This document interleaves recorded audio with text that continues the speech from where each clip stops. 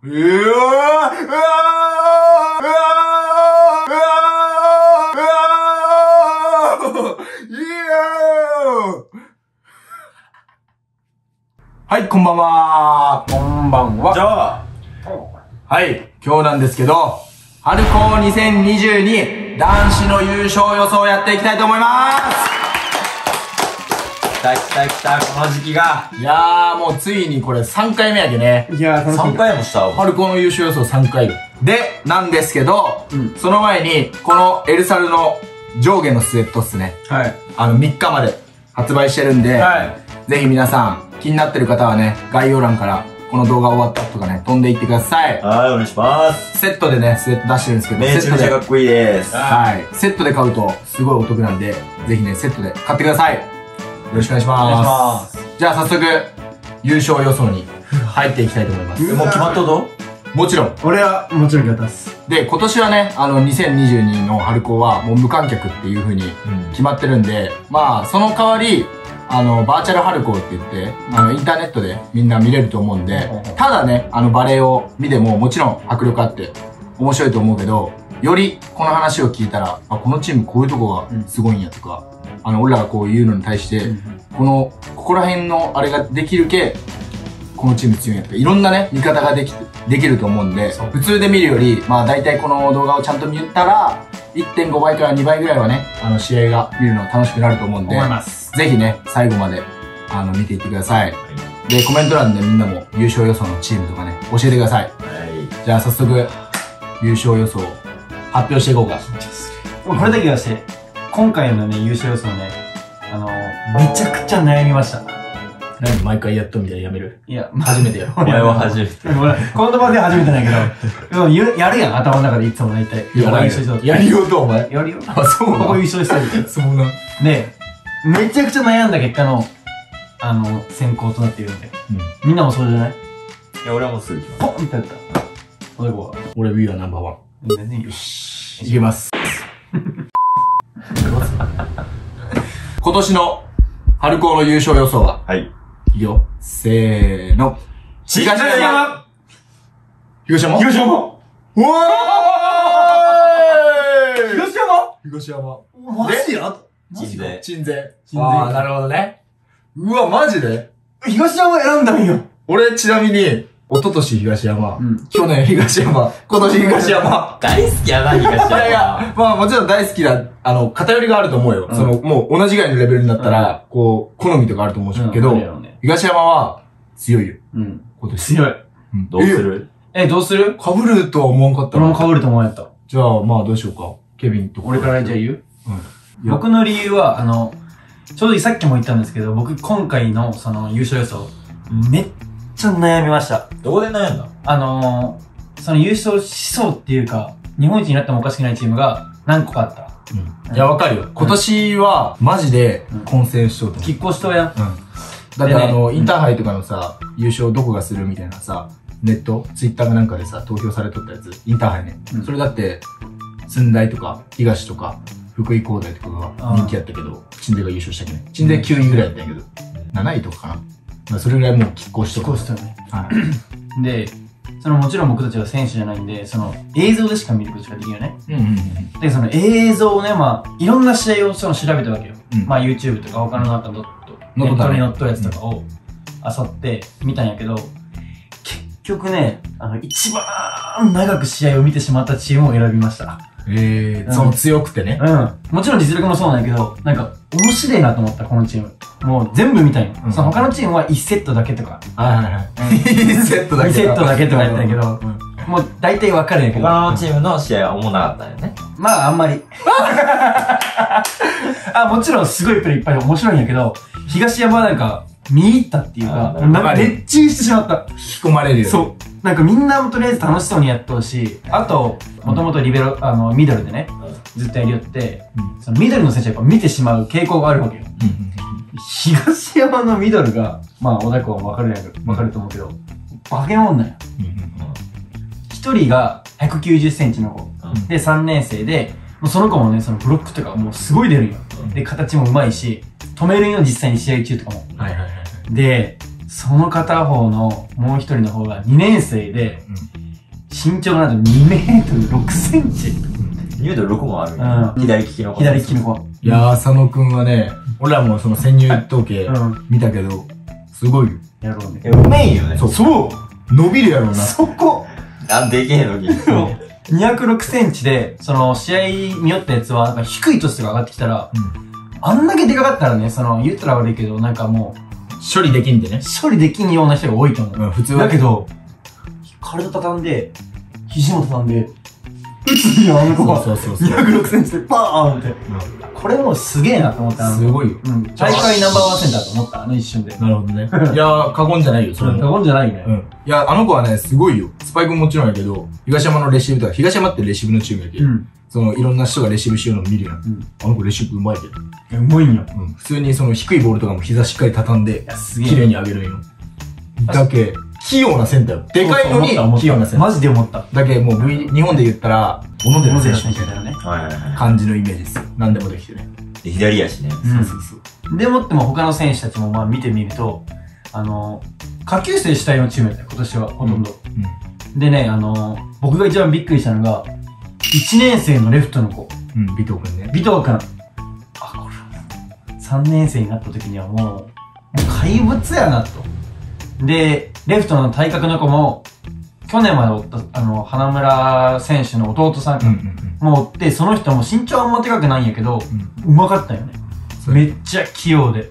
うん。で、そのサーブとかもみんなガンガン攻めるし、試合中とかもみんなニコニコニコニコってしても楽しそうなんよ。おかんか？うん。目線がわかんないよ、お前楽しそうなんよ。本当に。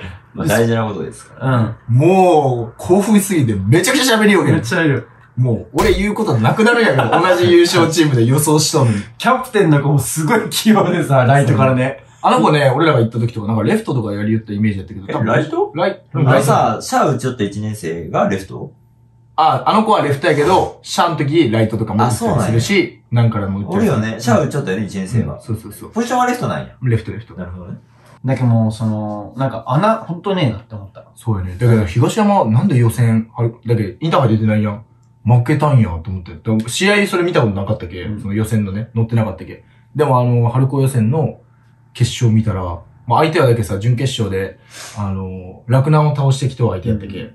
まあ普通に上手いし、まあ強かったんやけど、ボコボコしとったけね。ボコボコしたよ。うん。だけど、すごかった。俺、うわ、マジで相当伸びとうなっていう感覚やった。はいや、すごい。だけど、レフトからも叩く選手おるし、普通にシャとかも完成度高くて、うん。バンバン決めてくるのよ、ビト君とかも。うんいや、これなかなかきついぞと思って。で、クイックもね、センター戦二人とも強いけ、ブロックもでかくて、いや東山これ相当強いぞうん。思ったんで、まあ、今回、その他にもね、いろいろ僕の中であったんですけど、まあ、東山を選ばせていただきました。なるほどね。はい。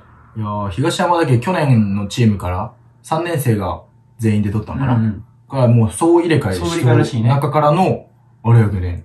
だから俺、リオさんにおめでとうございますってまあ優勝決まった時さ、あの言ったらさ、どうやったって聞かれたけどさ、その去年と、なんかチーム全然変わってるのに、うんなんかそのもう強いチームっうん。てもうなんかなんて言えばいいんだな。もうほぼ総入れ替えしとうって分からんぐらい強,、うん強かったですみたいな。うん送ったもん。完成度は高いよね。いや完成度マジで高かったメンバーが変わった割に。うん。それがね、やっぱ東山の強さっすね。すごい。じゃあもう、小田子さんも言うことないっすね。もう僕、ナイス。もうだけ、そのもうケビンがもう興奮して全部言ってくれたんで、付け足すことはない。うん、付け足すっていうか、まあ、東山はもう本当にレシーブのチームで、もう硬いんよ。もうあの、ザ、強いチームうんのパターン。レシーブがまず良くて、そっからセンター戦、両方、両センターいい。で、尾藤くんっていう1年生が入ってきて、高いトスとかもパーンって打てるけ。いや、尾藤くん俺ビビったね。うんやっぱり。うわ、マジですごいなと思った。あれほんとですごいと思った1年生であっこまでやりよけ、今後もっと化けるような選手やろうなと思った。やばいね。で、こう見よった感じも鼻があって、あれはね、すごいよ。だけど、そこら辺の俺期待も込めてうん、東山やったね一。緒。うん。じゃあまあいろいろ喋ったけ、うん次はじゃあ、古達の鎮西の優勝予想を聞いていこうかね。はいえーっと、まあ、僕が鎮西を選んだ理由は、うんはい。エコひいきですね。これは、完全に。はい。エコひいきはい。OB なので、鎮西を選ばさせていただきました。っていうことはうん鎮西じゃなかったら、選んでないってこと？いや、あのね、今年は、わからんやった。ごめんなさい。ごめんなさい。これ決めきれませんでした。あの、実力では。はい。なるほど。だけ、もう鎮西が抜け取るっては思わん。うん。うん。けど、もう、わからんなってなったら、うん。やっぱもう母校ですよ、選ぶのは。うんはい。まあ鎮西。本来やったらさ、こう、インターハイあって、うん国体があって、うん大体こう見えてきとるよね。でも今回はインターハイやったけど、国体はなかったけ、その辺がまあちょっと、難しいとこではあるよね。で、インターハイ見て、うん。あの率直に、まあ負け取ってもおかしくなかったって感じやけう、ん。寸大がやっぱ、結構安定して強いっていう話を今回ちょっと聞いたんですけど、うん。まあそうよねまあ。そういった意味でも、まあインターハイ取ったけど、硬い感じではないかなっていうとあころで、ただ、今年の鎮西は、松本くんが競った時に、あの、強えんよー、すげえね。コーチの宮迫さん、うん。宮迫コーチうん。に聞いたら、水町よりもスタミナがある。スタミナがねあース。タミナがねまあ水町くんは、こう、つったりしよったんやね。うんうんだからそういうとこがないってことかな。で身長はね、82、3ぐらいしかないやろ？うん。けどね。いや違う、手がむちゃくちゃ長いんよ。あもう、ルフィ マジで。あ、ゴムゴムの実を食べとんよ。あ、そうだよ。食べとん。食べとった。じゃあ、打つ瞬間、ちょっと、ビヨーン伸びようもんねう。。うん。で、あの、美容の美容もね。うん で、あの、でも、鎮西ね、ちょっとだけ気をつけたいのが、松本くんに打数が集まりすぎたらう、ん良くない、やっぱり。あうんスタミナあるけど、結局ね、マーク使い出したらやっぱさすがにきつくなってくるけ、うん。いかに、その、せっかく2セッターやって攻撃3枚おるけ、うんいかに散らしながらうん。やれるか。多分去年も、あの、水町の時もさ、俺多分そういう風に言ったんやけど、うん。一枚エースっぽいけさ、鎮西ってなんか、ここ最近ずっと、まあそうやね。うんエース勝負みたいなとこあるけ、うん。エース勝負はいいんやけど、いかにそこの負担を減らせるか。うん。うん。多分そしたら、それもし他のところが攻撃結構通ったら、多分これ、ポーンは優勝しますよ。そうやね。うん。他の選手も普通にうまいし、ね強い。だけど、鎮西の、あの、すごいなって思うのは、あの、練習行ってみて分かったんやけど、多分普通に映像だけ見よったら、あ、松本くんだけがすごいな。で、2セッターで、あ、攻撃の枚数があって、他の人もまあまあ打つやなっていうイメージだったよ、俺は。だけど、練習行って分かったのは、個の能力マジみんな高い。補欠の子とかで出てない子とかでも、1年生でもマジ高い子とかおって、ね。で、そこから多分上手くなるんやろうけど。で、出とる選手とかは、ちっちゃくても上手いけ、全然その松本くんに頼らんでも、全然決めきれるんやろうなと思う。で、そのいいとこの、こうね、こう、セッターが配分してあげれば、マジでえぐいいや、思うえぐいわ。えぐいと思うよ。で、そこも俺はね、悩みましたよ。クイックは、まあ、正直キャッチが返ったら、うんまあ、使っていければ使ってっていいと思う。で、あとはやっぱ、ライトの二人、そのセッター、セッター大学の二人、うん平川くんと、うんえー久富くん。うん。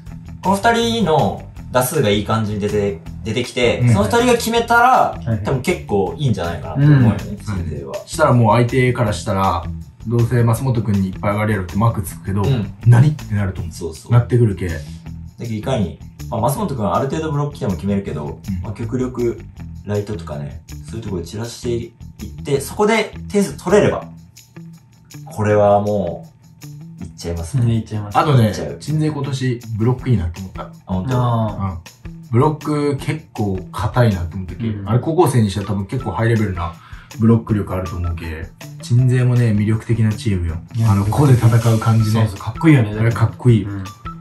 花があるね。堂々としてね、花ある。まあそういう感じですね。はいまあ、この3人の優勝予想。まあ、ケビンが、あ、東山はケビンが大体言ってくれたんで、まあ僕もそういう感じの意見になってます。で、B クイックから2個、うん。個。東山と鎮西。まあ多分、下馬評は寸大なんかな。寸大が多分一番多鎮いと思う。西の、あの、選手に直接今年どこが強いって聞いたら、うん寸大っていう声があ、そうね来。たんで、ー本人たちがやっぱそうやって言ってけ、あまあ寸大多分強いんだと思います。強いやろ。実際ほら、映像を見とうのとさ、戦っとうのじゃ、戦っとう人たちは一番多分分かっとると思うね。うんどこが強い。寸大は強いよ。うん2年連続、春高ベスト、あの、春高4位やけど。あ、違う違う違う違う違う。4年連続、春高2位やけど。だけど、全部センターボール立ってたよね。悲願の優勝になるかってとこやね。そうね。だけど、仙台ね。寸大もね、もうすごいよ。寸大は何やったっけ渡辺くんやったっけレフト。うん、渡辺くんあの坊主やったと、子去うん年は渡辺くんともう一人が、中中島くん中くんとかがおって、強いからうまいけどね、1年生ぐらいで、1年生というか最初もね、中島くん確か。うまかったもんな。あ、寸大もね、なんか強いね。寸大はデータすげえけど。もう全チーム語りよったらもうこれ1時間ぐらいの動画になるよ。マジで。えぐい。もういろんなチーム見とっていろんなの見たいし、あ、言いたいし、東とかもこう喋りたいけど、もうえぐい。だけどもう、あれなんじゃない？次行った方がいいんじゃない？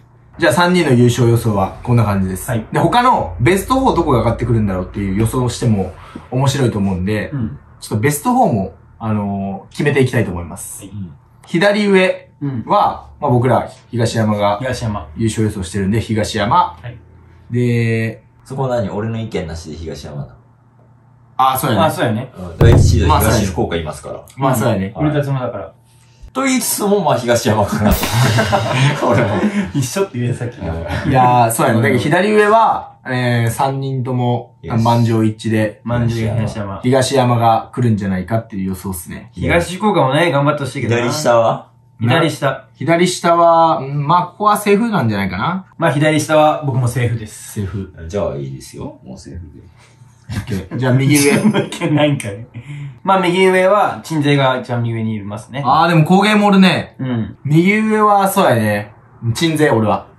工掛けで、工芸と鎮西がうん。当たる可能性は高いけ、うんまあ、この辺もちょっと面白いですね。僕もここは鎮西です。はい。はい。じゃあ最後右下やね。右下第2シードのとこは。寸大でしまあ、寸大かなあ、でも仙台商業とかもおるんやん。正常とか。ょ。山あ本くん？あ。山本くん注目選手やね。習志野はどこに入っとる？習志野は東山と1回戦。東山？そう。うわー面白いやんいや、でも俺はね、東山そういう、でかいチームとかは、結構東山の頃はみんな上手いけ、対応するんじゃないかなってなんだかんだ思っと。習志野にもすごい子おるよね、一人ね。やばいよ。バーゲモンが。めちゃくちゃ高いよ。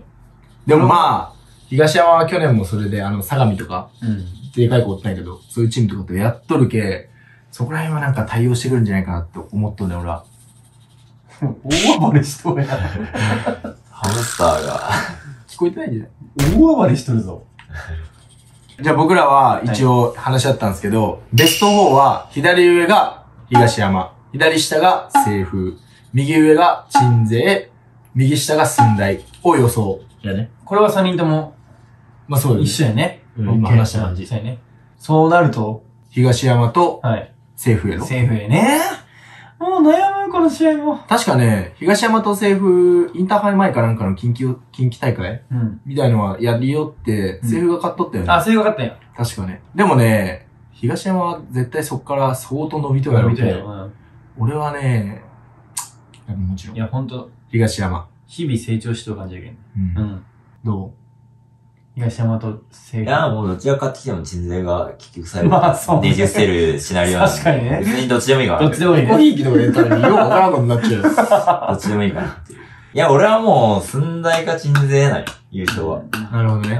うん。もう、そのどっちかですよ。うわ、鎮西と住んだよわからんいや、わかな。らまあ、どっちかがそのベスト4まで行くかもわからんけどねん。。まあね、うん全然強いチーム他にもいっぱいあるけん。もちろんもちろん。俺らが予想しとる中でやけん。そうそうそう。そうなっとけ。もしそうなった時に、鎮西と寸大が戦った時に、うわ、おもろいな、これは。すごい選手がいっぱいいる。日本航空にもね、すごい選手いるんですよ。僕あ、ニック強いらしいね。どこ入っとんあ、ニックがだけ、あ、こっちなんや。そうそうそうそう。左上あ、だけ左ど、もし東山とかがこう、東と当たっても方角で当たるんだそう。そう。ニックもね、すごい選手なるほ見つけました。すごかった。あの子。ニックもいいらしいね。うん。僕らはこういう感じで予想してますね。はい。もう決勝とかはどこが来るとかわかんないですけど、まあ優勝予想は、えー、東山で鎮西っていう感じになってます。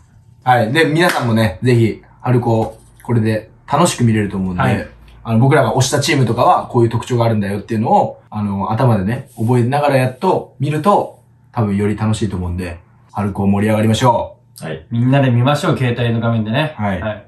まあ多分準決決勝はね、テレビであると思うんで、うんあフジテレビでお、見よう、絶対見よう、みんな。見ましょう。はい。